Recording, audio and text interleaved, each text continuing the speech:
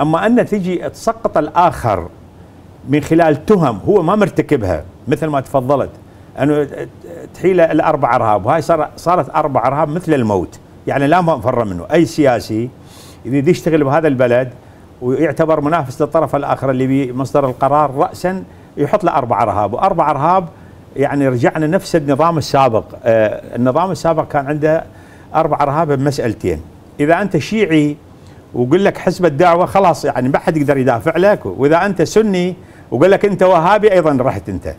فالأربع أرهاب وحتى تعريف الأرهاب لحد الآن ما مخت... ما, ما متفقين ما عليه. متفق عليه. لكن التسقيط هذا اللي أنت تبعد الطرف الآخر وما تنطيه حريته وما تنطيه استحقاقه اللي كفلها الدستور اللي كفلها القوانين اللي كفلها آه، شراء الشراكه في البلد هو هذا الإخفاق اللي يعني أدى إلى آه، يجعل البلد ينهار شيئا فشيئا إلى أن وصلنا إلى نحن طيب. اليوم أنت